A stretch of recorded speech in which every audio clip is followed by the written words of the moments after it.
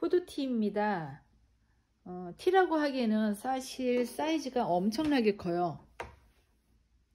네, 이거를 반으로 잘라달라고 수선이 들어왔습니다. 음, 제가 일단 선을 가운데를 잘 자로 재서 그려놓은 상태예요. 바로 가위로 자르면 지금 이게 두 겹으로 되어 있거든요. 단이 이중으로 되어 있어서 붕 뜨게 될 것 같아서 어, 핀을 좀 꽂고 자르도록 할게요. 가운데를 잘라야 되니까 이렇게 양쪽으로 가운데를 잘라야 되니까 양쪽으로 이렇게 핀을 꽂으셔야 됩니다.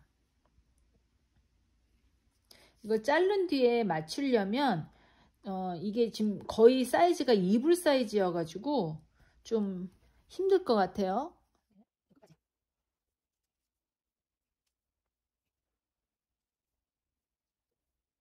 제가 가운데를 자르기 전에 먼저 이 가운데 옆으로 또 좌우로 이렇게 한 번씩 바꾸 자르는 게 좋을 듯 해요. 그래야 이 원단이 두 겹이라 이렇게 흐느적거리는 거가 좀 막아질 것 같거든요. 땀을 좀 크게 한 뒤에요. 밀리지 않도록 잘 잡고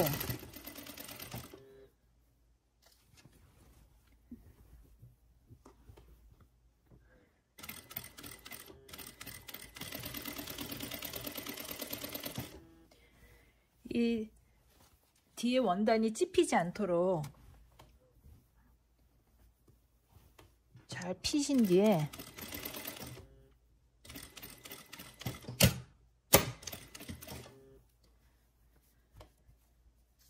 복잡하게 해드리는 것보다 제가 지금 고치려는 방법이 가장 음, 쉬운 방법일 것 같아서 이제 여러분께 보여드리려고 해요.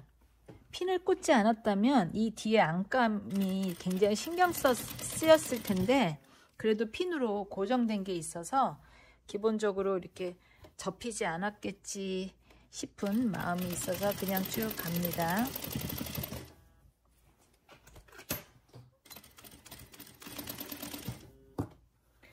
이 부분을이 조금 고민스러운데 어, 일단 좀 자른 뒤에 한번 생각해 볼게요.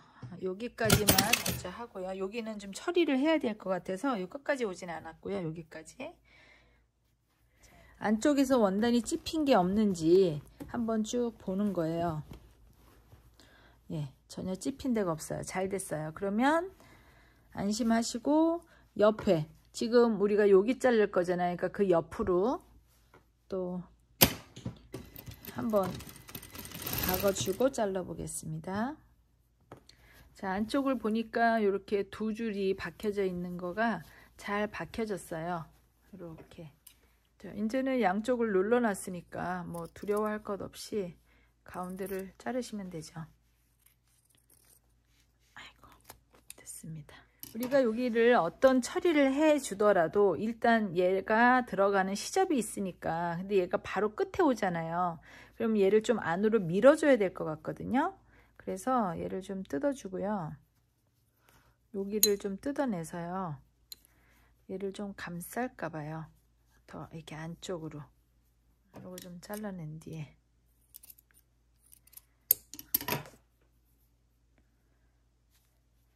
잘라낸 뒤에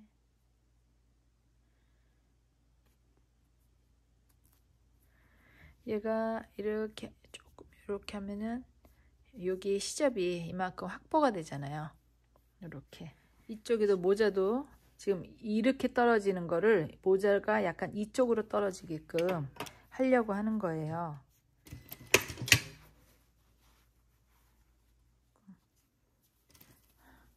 조금 더 당겨서 이렇게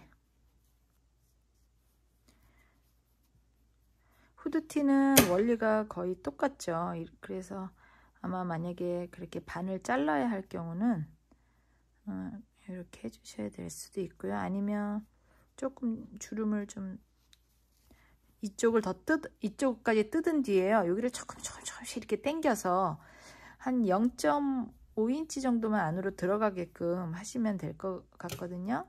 그러니까 많이 뜯...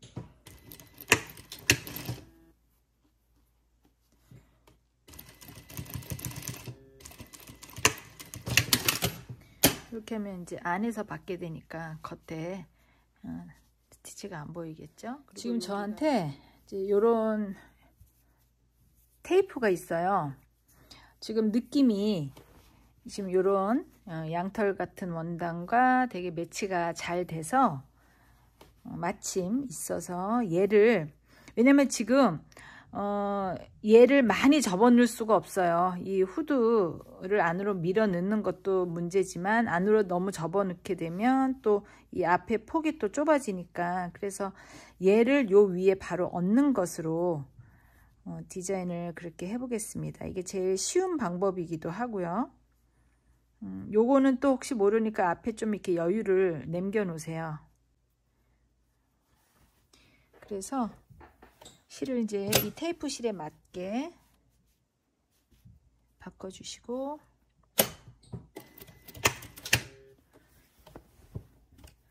자 테이프가 이게 좀 어, 탄탄한 건 아니고 약간 이게 좀 살짝 요 정도가 이렇게 텐션이 있거든요. 그거를 그냥 자연스럽게 올리세요. 밑도 막 억지로 잡아 당길 건 없고요. 그냥 자연스럽게 음, 최소한으로만 그냥 4분의 1인치 정도 이렇게 얹으시면 조, 좋을 것 같아요.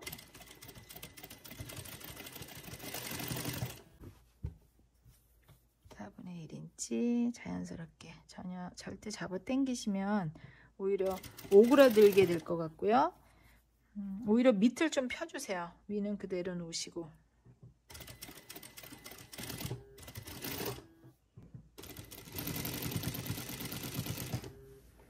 이렇게 되게요. 지금 여기 부분이 주머니를 잘랐잖아요. 그래서 사실 여기가 되게 두꺼워요. 그러나 원래 원단 자체가 굉장히 부드럽기 때문에 이 정도는 꺾여질 것 같아요. 그래서 제가 이 작업을 따로 안 하려고 해요. 근데 만약에 이게 좀 두껍다. 그래서 이게 전체가 다 꺾기가 힘들다 하면요. 여기를 뜯어내세요. 여기 뜯고 여기 뜯어서 얘를 따로 접어서 안으로 접으신 뒤에 그냥 이렇게 어, 따로 지금 여기도 top stitch로 박았잖아요. 그러니까 이 주머니만 뜯어서 안으로 시접을 집어넣은 뒤에 그 위에서 이렇게 박아주면 음, 해결이 되겠죠. 근데 이거 자, 땡김이 없이 아주 편안하게 잘 박혀졌어요. 그러면 이거를 마무리를 해볼게요. 이렇게 안으로 접으시는데 너무 길게 잘랐네요. 이 정도 하고 얘를 이렇게 잘 개켜서 이불 개듯이 잘 접어서 이렇게 얘가 이 끝부분이 너무 이렇게 돼서 여기서 이게 보이지 않게 요 겉감이 안으로 조금 들어오게끔 그게 안전하죠. 그래서 여기서도 테이프가 이 부분이 안 보이게끔 하셔서 핀을 하나 꽂아 놓으세요. 그리고 얘는 이렇게 핀을 많이 꽂을 필요는 없고요. 이렇게 중간중간은 한번 꽂을 필요는 있어요. 테이프가 밀려서 박혀지지 않게 하기 위함인데요. 한 요 정도 단위로 해서 이렇게 안으로 겉감이 좀 들어오게끔요. 이것도 끝에 밑에처럼 그냥 접어서 이렇게 마감 하고 이제 박아 볼게요.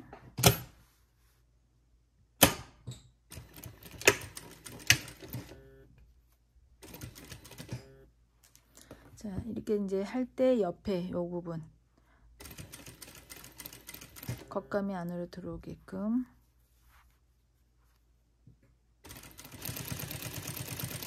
그 다음에 체크해 보세요. 뒷부분 어떻게 됐나.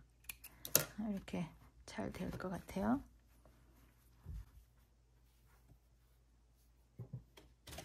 이것도 핀처럼 이렇게 딱 잡고 움직이지 마시고 계속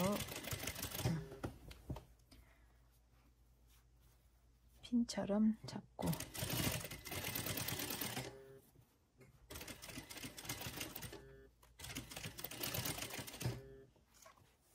자 이렇게 됐거든요 안에.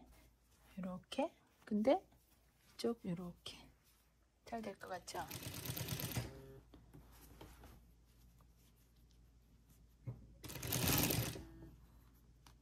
우수선을 할 때는 뭐 이런 도구 저런 도구 테이프도 그렇고 이것저것 다 필요한 것 같아요. 또 우연히 하여튼 잘 맞는 테이프가 있어서 제가 활용을 하는데 아유 이거 두꺼운가 봅니다. 두꺼운 것은 아무리 이게 청바지처럼 딱딱한 원단이 아니어도 손으로 이렇게 넘겨주면서 하셔야 돼요. 아니면 바늘이 부러지고 또 감아도 다쳐요. 이렇게 아 다 됐습니다. 이렇게. 안도 이렇게. 거의 이질감이 없죠 두 개가. 소재가.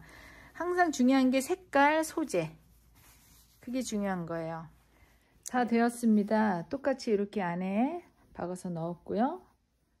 후드티가 이렇게 가운처럼 되었어요.